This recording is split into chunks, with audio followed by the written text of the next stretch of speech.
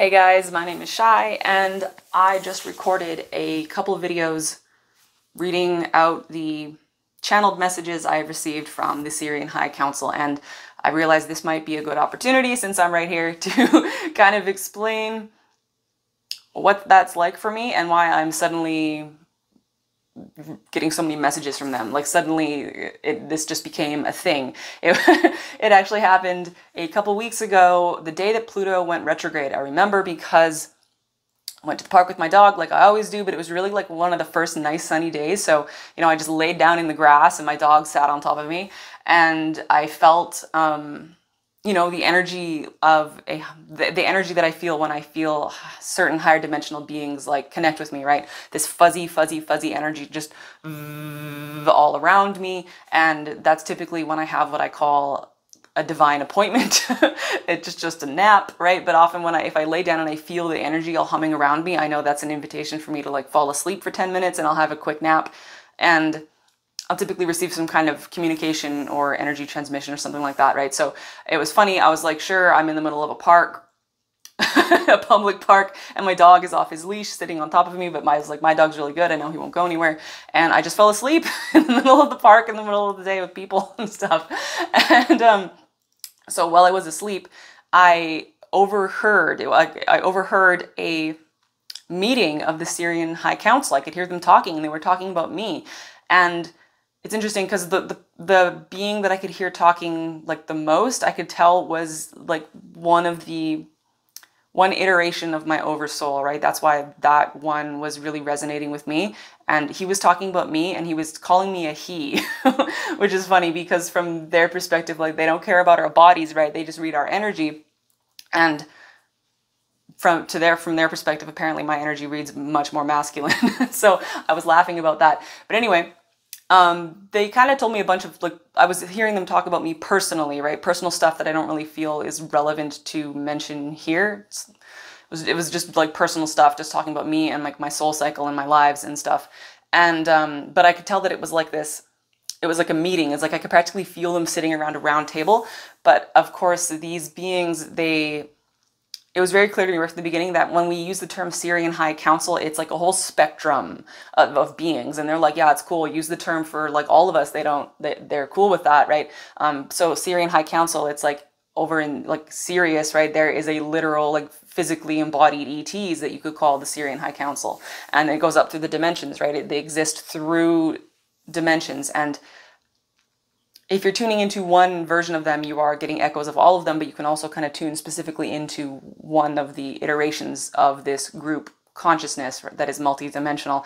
And I was tuning into, from what they've been able to describe to me, they're non physical, they're up like above, it's like at least 10th density and, and above non physical, but their energy comes down through the. Um, the Sirius portal.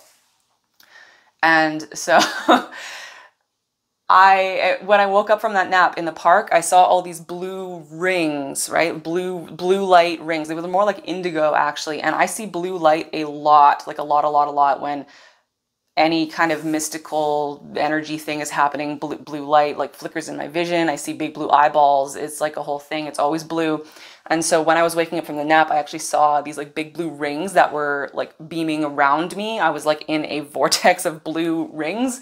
And um, by the time I was waking up, it was being pulled back, right? But they had been beaming these like blue rings down on me. And I understood that was part of the energy transmission. It was really funny because my dog was sitting on like my stomach. He's like, you know, tiny little dog.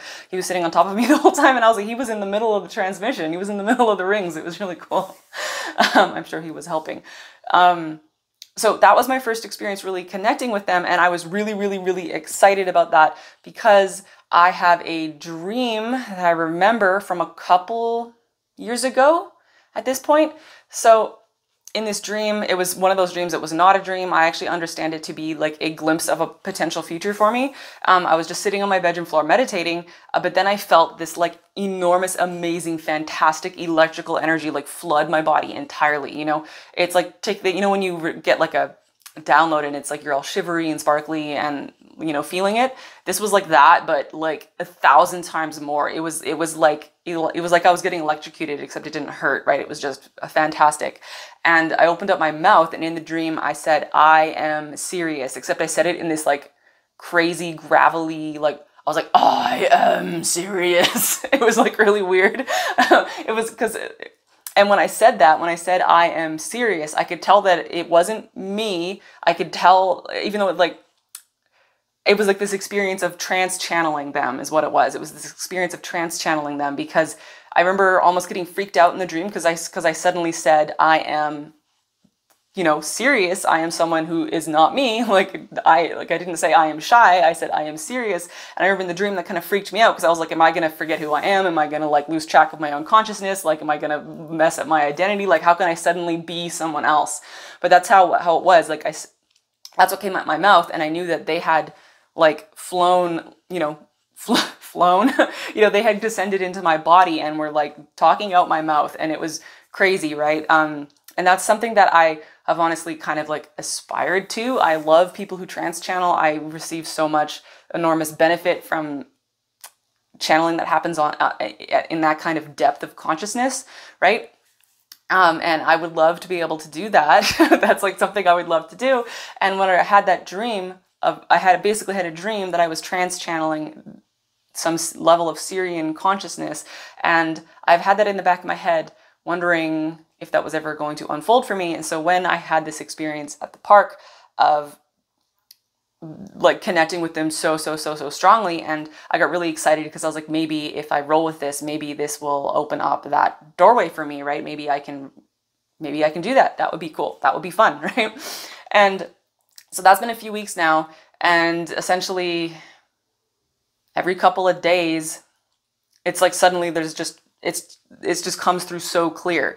Um, like uh, especially when I'm outside in the sunlight, like it apparently is really important to get sunlight for, for me to channel. It's like if I'm walking around in the sunlight, it, it just starts coming in, or sitting on my balcony, it just, it just starts coming in, and I it's like um, that's why I haven't been doing them in terms of like you know doing readings at my desk with with cards because the messages come through so clear, and I don't I don't really need the cards to reflect. Like typically, you know.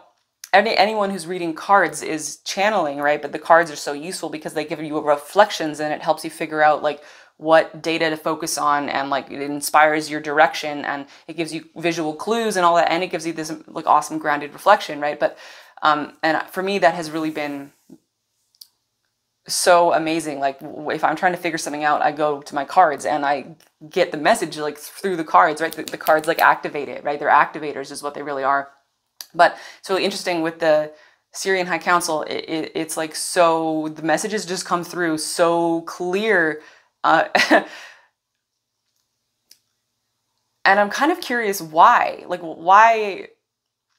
And as I'm saying that, they're showing me it's well. It's first of all because um, you know some level of my oversoul is part of the, their collective consciousness, and I have recently been able to calibrate my own frequency to the frequency of that version of my oversoul, like more closely. Right, I am a better vibrational match to that aspect of my oversoul than I was, you know, six months ago or whatever. So it's partly that, and it's also that specifically like why this Sirian group because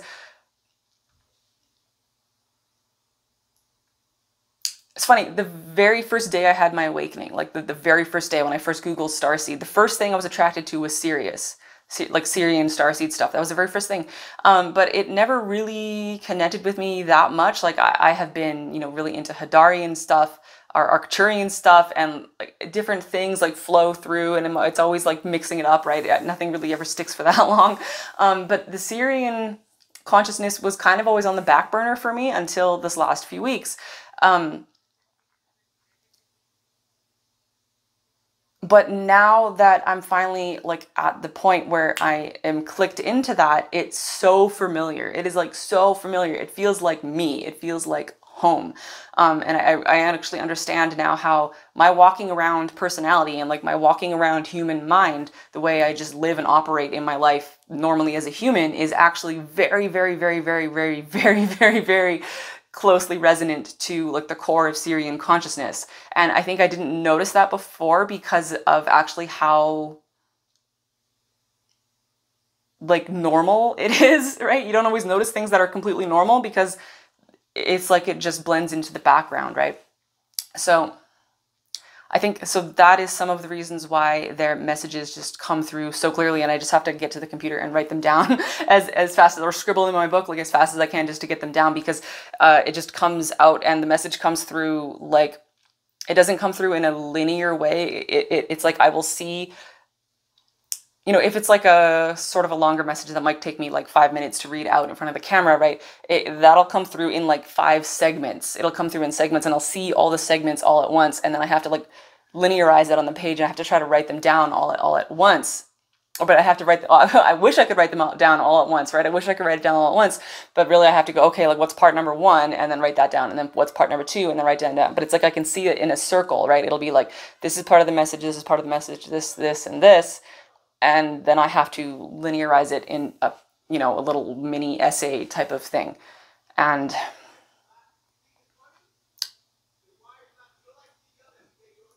distracted by yelling happening out my window. I think I think that might be it. I just basically wanted to take the opportunity to explain why I'm suddenly going to be posting a lot of content where I'm reading out messages from the Sirian High Council because that's apparently the thing I'm doing for right now. I don't know how long it's going to last because you know me, right? The next month happens and it's like I'm into like a whole different vortex of energy and I never really know how long something's going to go on for or what the next thing's going to be, right? But this is what's happening for right now and that's where I'm at and that's what it's like for me to be doing this. So I love you guys. I'll talk to you later. Bye. Okay, super quick. I actually just got up and walked away, but I wanted to mention something. So I mentioned that when I was asleep at the park, I overheard like a council meeting, right? And it's like there were voices talking in English. and I remember thinking, isn't that interesting that I can hear them talking in English? How does that work, right? And my understanding is that that's my because obviously they're not talking in a linear way using words, right? They're communicating with their vibration, their non physical consciousness, right? Um, so they're obviously not speaking in English, but it's mm, the